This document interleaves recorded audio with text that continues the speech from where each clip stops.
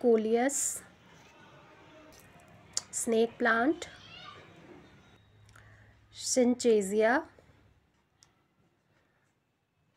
syngonium. इसके बाद देखिए एक ही पोथोस, सॉन्ग ऑफ़ इंडिया या dracaena, Chinese violet, copper plant या एक्लिफा और ऑल्टरनेंथ्रा ये है लालचा और इसके पास में रखा है पर्पल हार्ट ये है अरेलिया इसकी भी देखिए मैंने कटिंग लगाई है और इस समय जनवरी के ठंड में भी इसमें आपको नई ग्रोथ दिखाई दे रही है। और ये एक आप बहुत ही हार्डी प्लांट है और एवरग्रीन प्लांट है। मतलब पूरे साल इसी तरह से हरा भरा बना रहेगा। आप अगर कुछ बातों का ध्यान रखें, मैं सारी केयरिंग टिप्स शेयर करूँगी। इसलिए वीडियो लास्ट तक देखिएगा। देखिए कितनी हेल्दी रूट्स डेवलप हो चुकी हैं।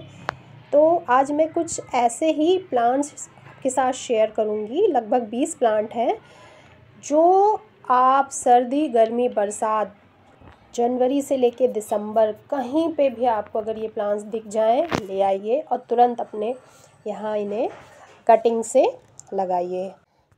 हेलो एवरीवन आप ये मेरा फॉलिएज सेक्शन देख रहे हैं?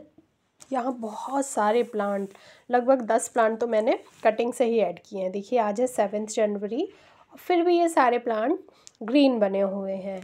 वैसे तो डोरमेंट पीरियड होता है, लेकिन कुछ ऐसे परमानेंट बीस हार्डी प्लांट हैं, जिन्हें आप कभी भी कटिंग से लगा सकते हैं। वही मैं आज आपके साथ शेयर करूँगी। तो सबसे पहले मैं आपको ये भी बताती रहूँगी कौन कौन सा मैंने प्लांट अपने यहाँ गार्डन में कटिंग से ही ऐड किया है। दे तो देखिए सबसे पहला प्लांट है डेविल्स बैकबोन जिसे मैंने कटिंग से ऐड किया है अपने गार्डन में। इसकी एक और वैरायटी है वो भी मैं आपको दिखाऊँगी। उसके बाद इरेंथमम इसकी भी मैं कटिंग लाई थी। ये भी बहुत इजीली कटिंग से लग जाता है। इसकी और भी मैंने कटिंग तैयार कर ली है वो भी मैं दिखाऊँगी आपको। बहुत ही ब्यूटीफुल प्लांट है। और ये देखिए ये आ, सिंगोनियम है। ये सिंगोनियम भी मैं कटिंग से लाई थी। मेरे घर के पास में ही लगी हुई है, वो उनकी बहुत पुरानी एक वाइन जैसी ग्रो हो गई है पूरी दीवार पे। और इस समय भी आपको कितनी अच्छी ग्रोथ दिखाई दे रही है। ये सभी प्लांट जो है ना, रबर प्लांट जैसे, इन सभी प्लांट्स में सर्दी, गर्मी, बरसात आपको हर सीज़न में ग्रोथ नज़र आएगी। बस जब पीक टाइम होता है, हल्की सी स्लो हो जाती है। अब अगला प्लांट है स्पाइडर प्लांट ये भी आप हमेशा लगा सकते हैं और इस समय तो इसमें देखिए फ्लारिंग हो रही है और बहुत अच्छी ग्रोथ हो रही है विंटर में। तो ये भी हमेशा ही आपका ऐसे हरा भरा बना रहता है। और इसके बाद अगला प्लांट है टर्टल वाइन इसकी मैं छोटी सी एक कटिंग लेके आई थी, ऐसी ही मुझे मिल गई थी। तो ये तब से लेके अब तक इतने सारे प्लांटर भर चुकी हूँ और अपना अब वीड जैसा ग्रो हो जाता है। ये देखिए, ये जो ब्राउन लीव्स इसमें नज़र आ रही हैं ना, ये एक्चुअली पुरानी लीव्स हैं जो लास्ट मार्च, अप्रैल से खिली हुई थी। तो अब तो भैया एक एजिंग होती है ना एजिंग के बाद इस तरह से वो ब्राउन हो जाती हैं। अगला प्लांट है, ये पर्पल हार्ट इसकी भी छोटी सी कटिंग लेके आई थी और इतने सारे प्लांटर भर दिए हैं। ये भी बहुत ही हार्डी प्लांट है। उसी के पास में रखा है बोलिए वी एन जी यू ये भी मैंने कटिंग से लगाया है।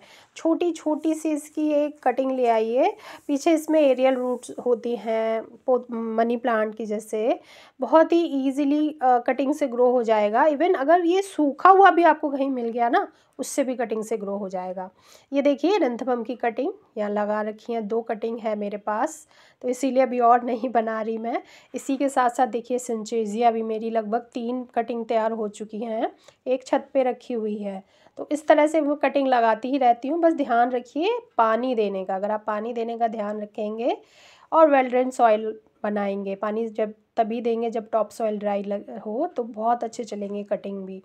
और अगला प्लांट है बोट लिली। ये भी एक छोटी से छोटी कटिंग बहुत ही ईजिली लग जाती है और जिस भी प्लांटर में लगाएँगे ना, वो पूरा प्लांटर कवर कर लेता है। फिर आपको ये धीरे धीरे लग, फेंकना ही पड़ेगा और बांटना पड़ेगा। ये इस तरह का प्लांट है और ये एकदम एवरग्रीन हमेशा ऐसी हरा भरा बना रहता है। आपको कब, कहीं पे भी ये प्लांट आपको मिले ना, जितने मैं प्लांट आपको दिखा रही हूँ, और ये सभी प्लांट आपको पता है ईज़िली पार्क वगैरह, आपके घर के आसपास जो भी पार्क होंगे, सब मिल जाएँगे। ये वनरिंग जीव है, ये भी मैं कटिंग ही लेके आई थी, ये मैंने अपनी कटिंग से ऐड किया था। देखिए, अभी भी इसमें ग्रोथ हो रही है और सेम ये ब्राउन लीव्स वही हैं, पुरानी लीव्स सूख के इस समय झड़ती हैं, लेकिन स्टेम एकदम हरी भरी बनी हुई है। लेकिन फिर हम फरवरी, मार्च में नए से प्लांटर बना देते हैं, क्योंकि ऊपर से लेगी सा हो जाता है प्लांट इसलिए। आप ड्रेसिना को भी इस समय कटिंग से लगा सकते हैं। देखिए, आपको नई ग्रोथ इसमें नज़र आ रही है। सब पूरे इसकी दोनों ब्रांच पे नई ग्रोथ आ रही है। कहीं पे भी ड्रेसिना की कोई भी कटिंग मिल जाए, उसे लगाइए। और आप ये देखिए सिंगोनियम की, ये मैं दो कटिंग ये मैंने कटिंग से लगाया था। यही जो मेरे जो डॉक्टर हैं, उनकी क्लिनिक से मैं लेके आई थी, दोनों सिंगोनियम और लालसा और देखिए, अभी भी इसमें कितनी अच्छी सी और हेल्दी ग्रोथ हो रही है। सिंगोनियम तो बहुत ही हार्डी प्लांट है और एक प्लांट कहीं से आपको मिल जाए, फिर एकदम भर जाएगा। उसके बाद अगला प्लांट है ये शफलेरा का। इसमें भी देख रहे हैं आपको कितनी अच्छी नई ग्रोथ दिखाई दे रही है। पत्तियाँ कितनी फ्रेश बनी हुई हैं। पुरानी पत्तियाँ एक दो येलो होके गिर जाती हैं, लेकिन इस सीज़न में भी आप कटिंग से लगा सकते हैं। इसके बाद पास ही रखा हुआ है। ये है मदर ऑफ़ थाउज़ेंड सन इसकी तो आप एक पत्ती से ही नया प्लांट तैयार कर सकते हैं। और अभी मार्च, अप्रैल में इसकी पत्तियों पे ही साइड से पप्स लगते हैं और फिर वो पूरे गार्डन में आपके फैल जाएँगे। और ये देखिए, इस तरह से इसमें फ्लावर भी खिलता है। लेकिन जब दो, एक, दो साल पुराना होगा पौधा आपका, तभी इसमें इस तरह की फ्लारिंग आपको देखने को मिलेगी। बहुत ही ईजिली अगर कहीं पे भी मिल जाए, ये देखिए डेवल्स बैकबोन का ही दूसरी वेराइटी है। ये ग्रीन कलर की है, लेकिन जाड़ों में इसकी पत्तियाँ, देखने थोड़ी सी रेडिश हो जाती है। ये एक और कटिंग लगी है, इसमें दो कटिंग लगा रखी है मैंने। डेविल्स बैकबोन मैं ये दोनों कटिंग ही अपने प्रेस वाले भैया से लेके आई थी, आप सोचिए फ्री में ऐड किए हैं, इतना सुंदर प्लांट इसके बाद अगर आपको कहीं पे भी अमरेला पाम दिख दिख जाए ना, आप ले आइए। इसकी तो सिर्फ़ पत्ती से ही, ऐसे उसे ऊपर से कट करके ले आइए। फिर इस पत्ती को पानी में डिप करके, उल्टा करके रख देंगे तो उससे नया प्लांट बन जाता है। वो मैं आपके साथ अभी शेयर करूँगी। अभी देखिए, इसमें फ्लार खिला हुआ है। जब फ्लार खिला है, इसका मतलब ये इसका ग्रोथ सीज़न है और पूरे साल ये ऐसे हरा भरा बना रहता है। तो हर सीज़न में परमानेंट प्लांट आपका हैप्पी बना रहेगा। ये देखिए फाइलोडेंड्रोन है इसमें। मैं आपको दिखाती हूँ, ये देखिए, नई ग्रोथ ये देखिए, नई ग्रोथ ये विंटर में नई ग्रोथ हो रही है। ये देखिए इस सेवन जनवरी के ही आ, मैं ये वीडियो बना रही हूँ। इसके साथ साथ आप एग्लोनिमा को देखिए सेम देख रहे हैं? एग्लोनिमा में भी नई ये लीफ आ रही है। यहाँ पे भी एक अंदर लीफ आ रही है। बस जो केयर टिप्स मैं आपके साथ शेयर की थी, उसे फॉलो कीजिए। देखिए जीजी प्लांट में ये देख रहे हैं नई नई ग्रोथ आ रही है, ये दो ग्रोथ पहले आ चुकी हैं, अब ये क्योंकि ब्लैक जीजी है, देखिए, पहले ग्रीन कलर की लीव्स आती हैं, फिर धीरे धीरे कलर चेंज होता है। देखिए, कितना प्यारा कलर चेंज हो रहा है। ये एक, देखिए डेविल्स बैकबोन मैंने लगा रखा है, छोटे से प्लांटर में, कितना अच्छा और हैप्पी चल रहा है। इसके साथ साथ आप इस समय जेड प्लांट को भी बहुत, हर सीज़न में ही लगा सकते हैं। बस अगर पानी का ध्यान रखा और वेल्ड्रेन सॉइल रख ली तो देख रहे हैं। नई ग्रोथ आपको दिखाई दे रही है। और जितने भी सकलेंट्स हैं, आप लगा सकते हैं इस समय। और इसके साथ साथ क्रोटन को भी लगा सकते हैं। वो जो येलो डस्ट येलो कलर वाले जितने भी वेरीगेटेड क्रोटन है इजीली सब कटिंग से लग जाएँगे। एक ये प्लांट और है ब्रोकन हार्ट का। आपको इसकी रूट्स नज़र आ रही हैं? Broken heart syngonium pothos philodendron इन सब में ना एरियल रूट्स होती हैं। तो ये प्लांट्स तो आप बारह महीने अगर आपको कहीं पे भी इसकी कटिंग मिल जाती है बिल्कुल मत छोड़िए तुरंत ले आइए। ये एक प्लांट तो मैं बताना ही भूल गई ये है स्वीट पोटैटो वाइन ये देख रहे हैं इसमें भी बहुत अच्छी ग्रोथ हो रही है इसके तीन शेड ये इसमें भी देखिए। नई ग्रोथ आपको नज़र आ रही होगी।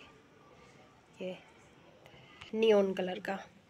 तो ये भी अगर आपको कभी भी मिले, कहीं भी मिले, किसी भी मौसम में मिले, तुरंत लगा लीजिए। ऑल्टरनेंथ्रा लालसा और चाइनीज़ वायलेट ये सब हेज प्लांट हैं। और हेज तो आप जानते हैं ना, वो हमेशा हरे भरे या लाल हैं तो लाल बने रहते हैं एवरग्रीन प्लांट बस आप इस तरह से कटिंग ले लीजिए, ध्यान रखिए ये नोड वाला हिस्सा हो जहाँ से पत्तियाँ निकलती हैं और उसे एलोवेरा में डिप करके well drain soil fifty percent sand और फिफ्टी परसेंट गार्डन सॉइल वाली सॉइल मिक्सचर में लगाइए अपनी कटिंग्स को। और अगर चाहें तो कंपोस्ट दे सकते हैं। वैसे कटिंग लगाने के समय कंपोस्ट की ज़रूरत नहीं होती है, लेकिन आप एक बार में ही प्लांटर में लगा रहे हैं तो ट्वेंटी फाइव परसेंट ही कंपोस्ट दीजिएगा, क्योंकि फॉलिएज प्लांट को ज़्यादा कंपोस्ट की ज़रूरत नहीं होती है। बस आप इस तरह से लगा दीजिए, ध्यान रखिए, कुछ दे दस दिन तक शेड में रखिए, ज़्यादा ठंड और ज़्यादा गर्मी में इसे, इन्हें शेड में रखिए, और ऐसी जगह रखिए जहाँ की कटिंग हिले ना।